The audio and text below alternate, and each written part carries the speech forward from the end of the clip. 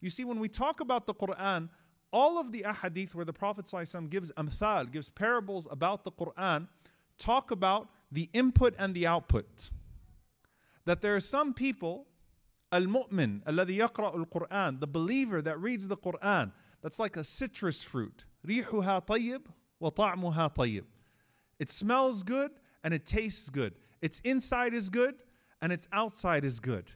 There's something inside and then there's something outside. When the Prophet describes the heart of the believer like fertile soil, the rain falls upon it and it soaks it all in and then it produces these beautiful gardens that everyone is sustained from. The input and the output.